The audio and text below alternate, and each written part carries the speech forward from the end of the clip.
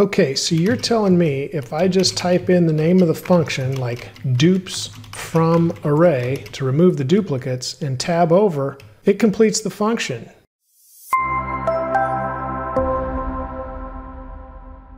Hello and welcome. Hi, I'm Dave. Today I'm looking at the technical preview of GitHub Copilot. It's an artificially intelligent programming partner that will give you code suggestions. And while there are several videos about Copilot, I wanted to provide one that is focused on the impact this will have for my students and other students around the world, as well as how this will impact educators. Let's get started by having Copilot help us with some standard code problems. Okay, I've got Visual Studio Code on the left, and I've got the Chrome Dev Tools console on the right. We've got this function here that GitHub Copilot created just by me typing in the name of the function. GitHub Copilot uses AI and it uses context. So just it gathered the context from me typing in a descriptive name. Now notice it's down here in the bar and I can click the little icon to disable Copilot globally or likewise if I did disable it, now it's red, I can click to activate it globally. So we've got that. Now let's go ahead and test this function out that it created and I need an array to do that. So I'll just define my array and let's see what GitHub Copilot suggests for that. It suggests an array with 10 numbers right away. But let's go ahead and put in some duplicates. So two, oops, I need a comma, two and three. And now we've got an array with a couple of duplicates and now let's go ahead and log to the console the results of this. So we say remove dupes from my array. It already knows what I want in the console log statement. So now let's save. And we get an array with just one, two, three, four. That's exactly what we needed. So this worked out great. Let's try another function. I'll delete all of this and let's get one that checks the number of occurrences in a string. So let's call that get occurrences from string. And notice it instantly filled in, I hit tab right here. So it filled in what I needed for parameters, string and substring, and went right to the end of the line. And now it wants to suggest the rest of this. And this might work okay, but it's not exactly what I'm looking for. So I can do a couple of things. One, on Windows, I can press Alt and the right bracket and I believe on Mac it would be Option. But here we go, Alt in the right bracket, and see if there's any other code suggestions here.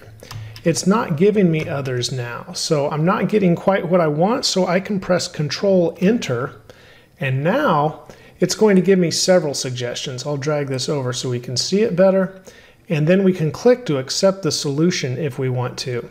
And I'm not seeing what I want yet, so let's just keep looking a little bit maybe something that uses a regex with that substring. And let's see what we've got to look for here. Quite a few suggestions at least. Not exactly what I want, so maybe I need to rename my function. So get occurrences from string, not quite what I want. Let's see if I can select that whole line here. Just bring this back and I want to get occurrences. There it says string and substring also. So let's see what suggested this. No, very much the same. I'm going to hit Alt and see if I get another suggestion or two here. And I'm going through the suggestions. Not that these would or wouldn't work. Remember, GitHub Copilot synthesizes all the public data in GitHub. So really it's pulling different suggestions there. And I think I've arrowed through everything that could possibly be. What I was looking for was something a little bit different. So let's go ahead and do that and we can return and then a string. Oh, now GitHub Copilot wants to help with what I need. So I'm going to go ahead and tab and then press Alt Z so the code will wrap and you can see the rest. See, we're getting the length at the end. So we're using match and a regex expression, which is what I wanted to do with substring. It's a global match. So it's either going to have that match or it's going to be an empty array with the short circuit here. And then we get the length. And then after that, GitHub Copilot suggests just closing out the function. Okay, so now we need a string so let's go ahead and create my string, set this equal to Hello, Dave. I'm Dave from the planet Dave. There we go. So we needed some repeat occurrences. That's what I want. Okay, now substring is going to equal Dave. GitHub Copilot kind of knows what I want from there. So now let's console log and GitHub Copilot knows I want to call get occurrences and pass in my string and my substring. So let's save. And we get a count of three because there are three Daves in my string. All right, let's do one more common code problem, but I think you're seeing a pattern here. So I'm going to say const is palindrome, very common problem. That's not exactly the answer I'm looking for. It looks like it might work, so I'm going to press Alt and the bracket key, see if I can get any other suggestions. I'm not, so I'm going to press Control Enter, see if I can go through this file and find a suggestion that I want. And this is much more like what I wanted here, a one-line solution. So I'll accept that.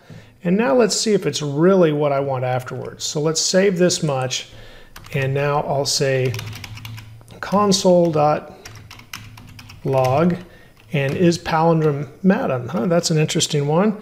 We'll also say is palindrome taco cat with a capital C. Now let's save. So we've got a true and a false. Well, I wanted my function to check for a palindrome regardless of uppercase or lowercase. So I would do this just a little bit different. I would have string dot to, oh, I put upper, I would do it to lowercase. I suppose it would work either way. And now here, I would also have to put to lowercase which is also chainable. I'd save, and now I've got true and true. But likewise, if we tested something we know is not a palindrome, like Walt, and save, yep, that's false. So really, we got a function that worked. We just still had to tweak it a little bit to get what we wanted. And that's because it's Copilot. It's not the pilot. You're still in charge. You may not get the exact result, but it's going to synthesize something from all the data that it's gathered, and it's going to be fairly close from what I'm seeing. So I'm a full-time developer and part-time university instructor and adjunct right now, and what I see as a developer, I really like. It is helping fill in with suggestions. Now, as an instructor, I worry that students may rely too heavily on this, but that's up to the student. They can really only cheat themselves. But let's also look at how I outline code exercises and how this may hurt the format that I use. Okay, we can select all and delete this. And another talent that GitHub Copilot has is gathering meaning from code comments. So we're going to use Eloquent JavaScript and there are some challenges at the end of the different chapters in Eloquent JavaScript. Now, that I'm sorry, that's bright, I know. This is at the end of chapter two of Eloquent JavaScript that's available at eloquentjavascript.net, a book that I highly recommend to my students. And looping a triangle is the first challenge. It says write a loop that makes seven calls to console log and output the following. So let's just copy this much. And now I'll minimize that for now. And let, I guess what we need now is to go back to Visual Studio Code. Got the empty one there. There we go. And I need to start a comment. So I'll do that and then we'll just paste all of that in and in the comment. Now let's see what we can do here with Copilot. So I'll start with a let and no hash equals pound sign is not what we need. I'm going to say I. From there, equals zero is correct. Oh, look, Copilot now knows that I need a while loop that while i is less than 7. So let's go ahead and accept. And now look at the suggestion. I'm going to press tab and I'm going to save. And we got exactly what we needed that quickly.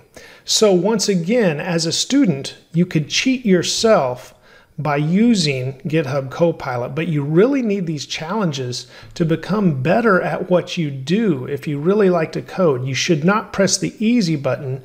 You should go ahead and disable Copilot to learn. But let's go ahead and do the rest of the challenges that are now available there at Eloquent JavaScript. So I'll pull that page back up and let's get the next one FizzBuzz. That is a classic challenge that has been around for a while. I'll copy these two paragraphs, not the title. And now let's go back and here we are. Oh, and then we need the other version of Chrome up here. So there we go. Now I'll go back to Visual Studio Code. Too many windows. And I'll select everything here. And now let's do a comment again and paste in the instructions. Okay, so write a program that uses console log to print all the numbers from 1 to 100 with two exceptions.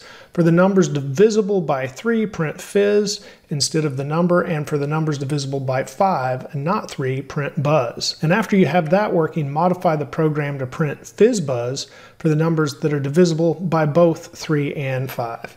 So, okay, let's do that. We'll start out with a for and now let's see what we got right after the for. I'll press tab and this looks like it's going to be accurate, although we've got a lot of if-else's here. Uh, let's see. Let's go ahead and save this and see what we get. It actually worked just fine. So we've got buzz at 100, fizz here, but at 90, we should have fizz buzz. 90 is dividable by both, 95 just by 5, 96 just by 3. Everything's working as it should.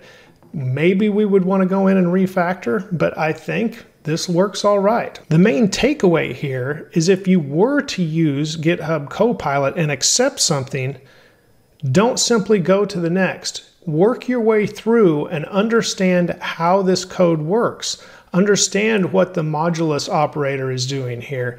Understand what the double ampersands are doing.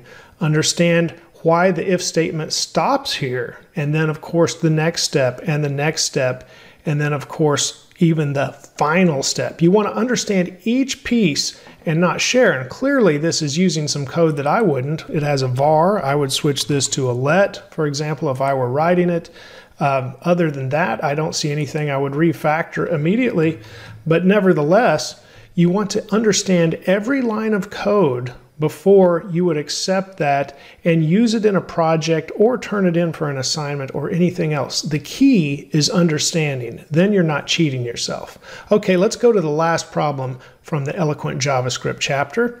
And let's see what we've got here. Chessboard. Oh, this is an interesting one now because you need lines for the chessboard, and then of course each square in the chessboard, and it alternates between the hashtag and empty. So let's just copy all of this down. And now let's go back to what we had. So we've got our console there and we've got Visual Studio Code pulling up here. I'm going to select everything once again, put in a comment, paste this in. And now let's see what we can do with the chessboard. So we need to start out saying something like, we could even say, yep, size equals 8. Instantly, GitHub Copilot knows what we want. It says, write a program that creates a string that represents an 8 by 8 grid while new line using new line characters to separate the lines. And at each position of the grid, there should be a space or a hashtag character, and the characters should form a chessboard. Passing this string to the console log should show a result like this. Here's our chessboard. So there we go. I'm going to scroll up to get some room. We come down to the next line. Copilot knows we need board to be an empty string. Now let's see if it knows what to do. Not yet. So we do need some knowledge here. And now it jumped to the conclusion for the rest. Let's see if this is accurate here. I'm not so sure. Definitely not accurate. So that's one reason to not just blindly accept the code from GitHub Copilot. We've got some issues here. So let's get rid of all of that again. And let's go ahead and see if there's another suggestion. We're not getting another suggestion. Let's black this out.